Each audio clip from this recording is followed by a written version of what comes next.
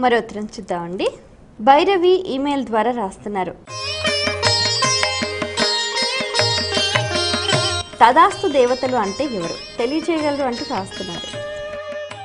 ఇదొక ప్రహతిలో ఉంది. కొన్ని సందర్భాలలో కొన్ని మాటలు మాట్లాడితే దేవతల పైన ఉంటారు తథాస్తు అంటారు అని. ఎవరూ కాదు పరమాత్మే. అన్ని చోట్ల ఉంటాడు. ఆయన లేనిది ఎక్కడ? అంతటా ఉంటాడు కదా.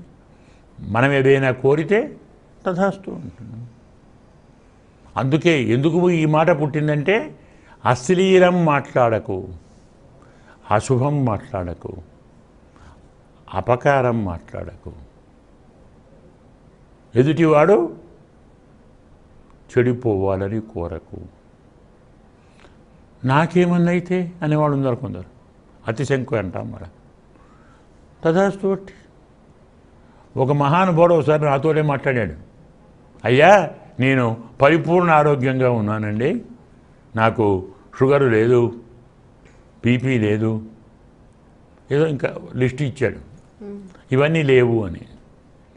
అయ్యా అనకండి చెప్పకండి. మీరు లేవు లేవు అంటుంటే కావాలేమని స్వామి ఇస్తే కష్టం.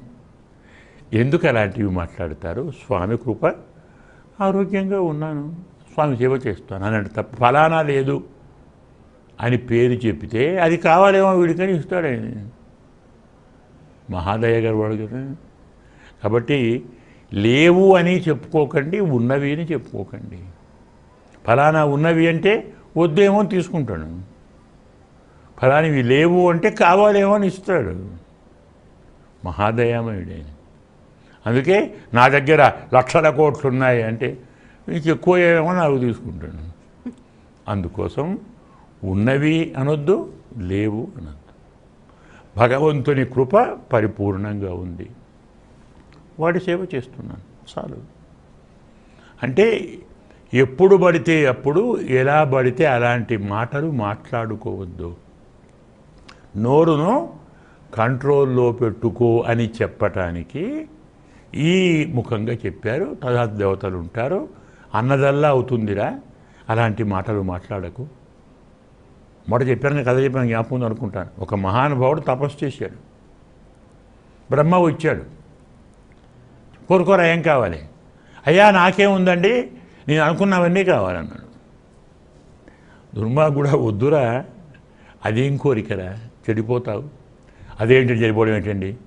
నేను చెడు కోరుకుంటాను? నాకు మంచిగా కోరుకుంటాను కదా. మీకు తెలవదండి ఇవ్వండి. మీ కర్మ పో అన్నాడు. తథాస్తు అన్నాడు.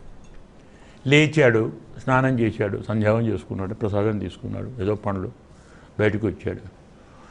చాలా రోజులైంది కదా వచ్చి.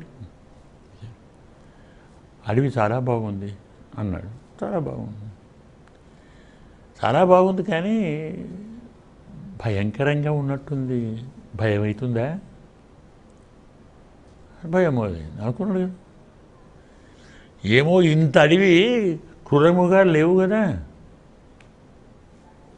తిరుగుతున్నాయి. ఓహో ఉంటే ఉన్నాయి. నా దగ్గరికైతే రావు కదా.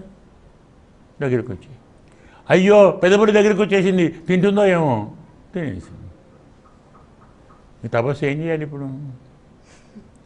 మానవులు కీడించి మేలించుతారు. మొదలు మంచి కోరారు చెడే కోరుతారు.